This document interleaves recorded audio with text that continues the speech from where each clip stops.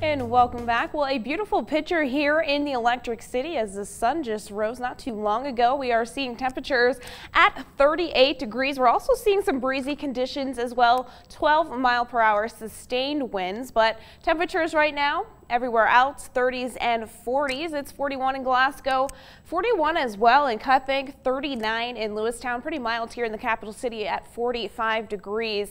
And looking at those current sustained winds across the state we are still seeing some breezy conditions.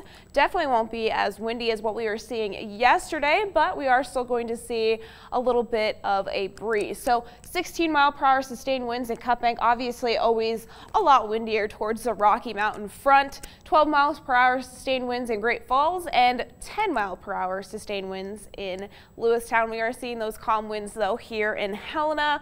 Looking at the next few hours though, we are seeing those stronger wind gusts moving towards Lewistown, Roundup and Billings and towards eastern Montana as well. But we're not going to be too bad today. Like I said, could see some breezy conditions, but won't be as bad as yesterday. But the Rocky Mountain front does stay uh, pretty breezy. And then overnight, later on this evening and overnight tonight, we are going to be seeing those wind gusts pick up again for Friday. So Doppler network here, not much going on in terms of precipitation because, well, we're seeing high pressure build, which usually makes uh, us see warmer and drier conditions. As we look at future track here, we'll continue to see those drier conditions here throughout the day today. Most of us seeing mostly sunny conditions here throughout the early morning and early afternoon before some more clouds start to roll in from western Montana moving into central Montana here later on this evening.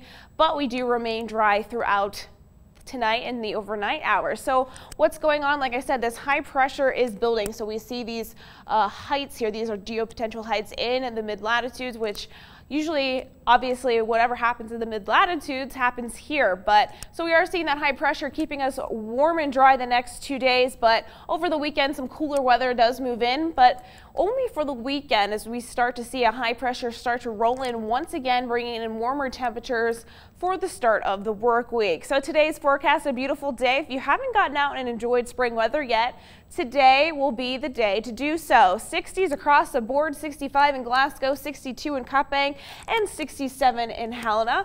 Now for Friday, we are seeing this cold front sweeping through the state later on in the afternoon and evening, but before that, we're seeing beautiful temperatures 70s. And check out eastern Montana. Those temperatures over here are looking more like summer than spring. We're seeing a high of 79 in Jordan and 78 in Glasgow.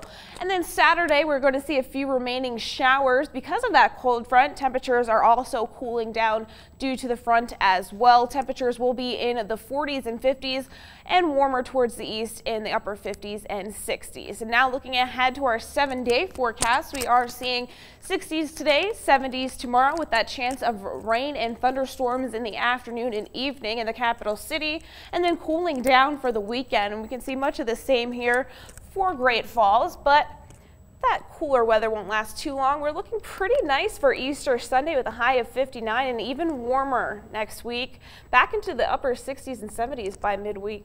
These are those times when I really enjoy working mornings. You get a chance to go outside in the afternoon, soak yes. up that sun before it's gone. Agreed. You yeah. never know what's going to happen here. You never know. All right. Thanks, Casey.